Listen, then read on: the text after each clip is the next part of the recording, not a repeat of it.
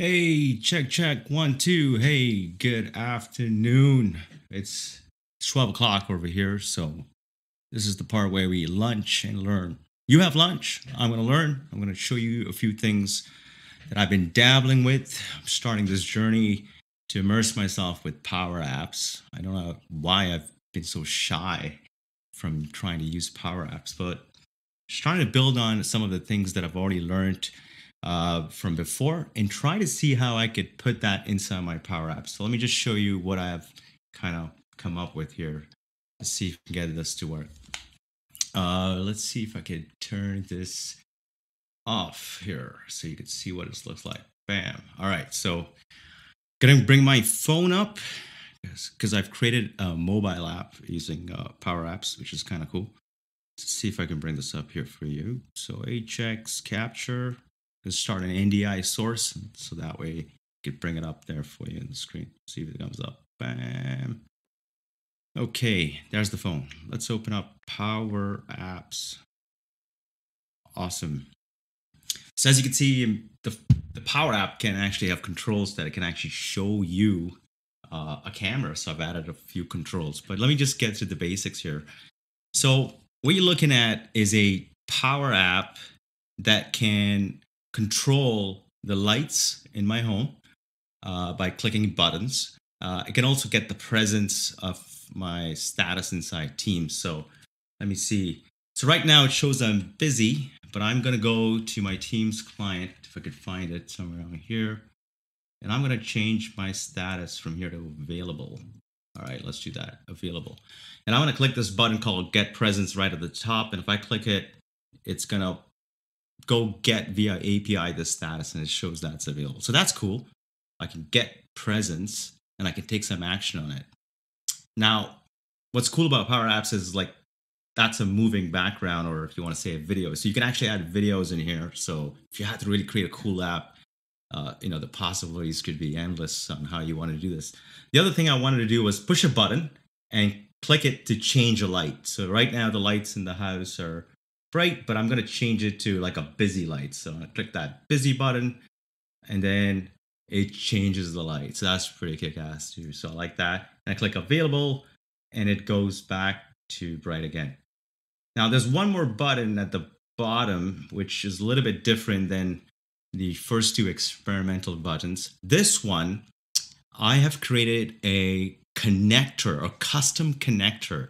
And connectors are the power of Power Apps, like you want to connect to data sources outside.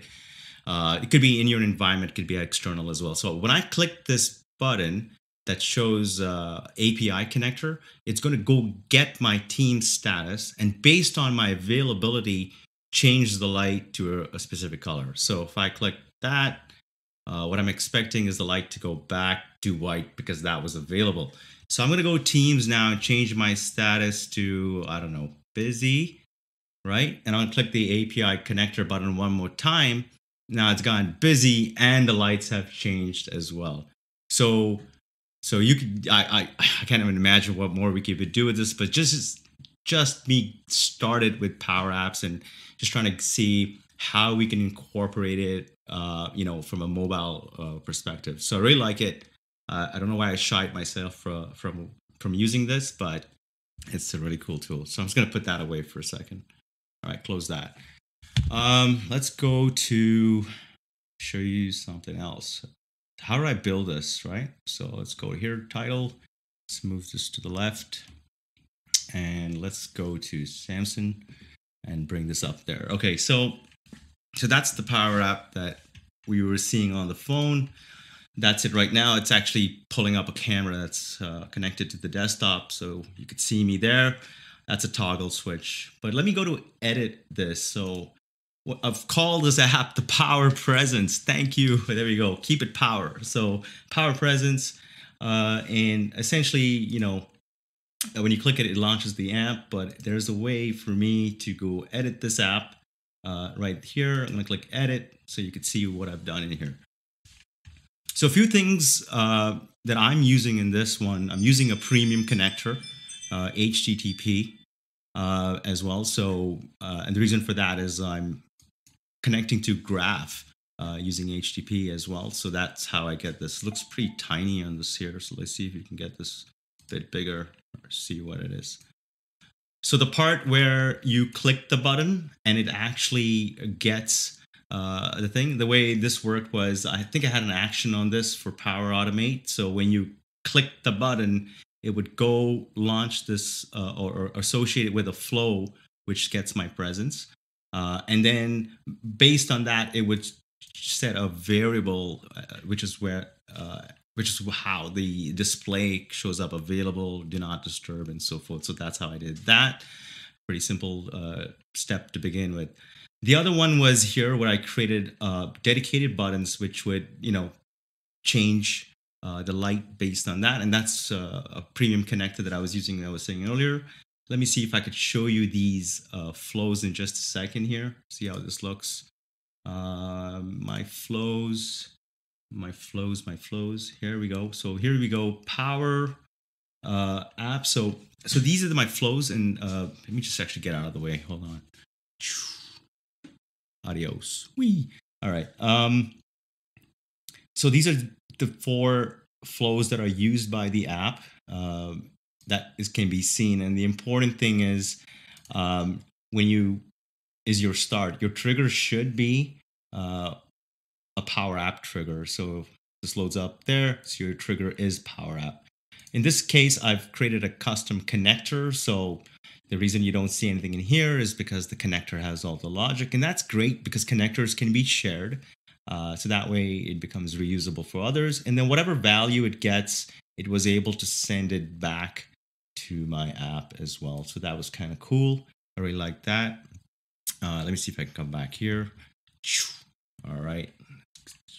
Maybe I should just green screen myself. Let's see here. Right click and green screen. Bam. All right. Let's go to the bottom left. Uh, those are the effects I make. All right. Uh, um, okay. So yeah. So that was using that one. In the other cases, uh, you know, this was a bit of more of work because in here I had to put the authorization uh, and get my token before I could get to something else uh, in here. So that's how I did that in there. Uh, but with the connector, uh, I was a lot. I was able to do a lot more. Let's see if I can load up this custom connector. Uh, that's here. Uh, so that's the custom connector that I created. And if I edit it, you can see that the connector has all the authentication, uh, it has the definition on how I'm going to get there. So connecting to graph at the bottom there. If you go to security, it's going to be all blank for now, but it's, it's part of being entered before. I put my client, my secret, everything in here, and where it would redirect to. Uh, updated my definition, which contains the requests just to get the presence for me. And then last but not least, you could quickly test that just to make sure the operation works. Uh, and it gives you back a 200, which is the response HTTP. And you could see in there, there would be the details of your thing. That goes into flow and that's how that work. So I thought this was really cool. Uh, you know, using Power Apps, uh, creating a Canvas app is what I've done here. And just simply learning to use a connector, uh, get uh, uh, to get my presence. Uh, can't set it. Also bring up a camera. I think you can. I had a toggle here which could toggle. If you hold the Alt key, you could. I believe you could toggle these things in edit mode. Yeah. So now it's trying to switch a camera. And the last was the API connector. Uh, and the API connector, which was the biggest thing I did in my discovery and learning, was you know it would set the presence uh, uh, variable by getting uh, the uh, flow that runs to get my presence. And then if it depends what the value is it would just change the, uh, the, the format or the fonts. And in some cases i said go run a flow if it provided those responses. So the reason the lights were changing is it's running those flows that were in there. Looks like i'm getting a phone call. I'm just gonna put this down there uh, and see what i got. Okay here we go. How are you connecting to the lights? Custom connector. So good question. Uh, i'm gonna say that uh, all right. I'm gonna say that the connector i'm using uh, is from IFTTT. So IFTTT.com.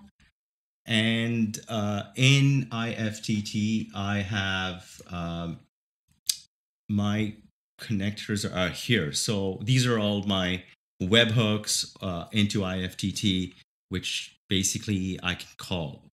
I'm not going to give you my key, but essentially, uh, you know, it's a full string with my key, and then that tr- triggers on these devices. And this is very simple. I'll show you how what this does, but IFTTT is similar to Flow, but you know, it allows you to connect to other things. And so in here, you could see an example. Uh, what I've done in here is if a rep request is received, uh, then it would uh, go back. It would then change a light in the office and change the light. So that's how I did that part. So that so I had IFTTT from before, and they have the service, and so I'm using Flow to connect or push to it. I don't believe there's an IFTTT connector inside Flow. So that's a good question. Thanks for that. Um, well, that's it for me. Nothing more. Uh, I'm gonna leave you uh, with this. So here is the flying. I'll fly away. All right. So there's me. Uh, oh, actually, I'm not in the scene anymore. I wonder why. It's because I'm I gotta reset myself. Bam, I'm back there. So thanks for watching. Hopefully this was entertaining.